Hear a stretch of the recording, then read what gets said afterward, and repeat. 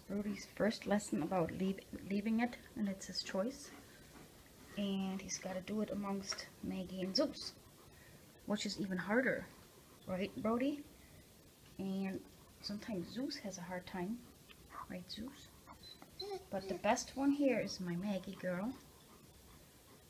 She's a good girl. Okay, take it. Good. Take it. Take it. No. Oh.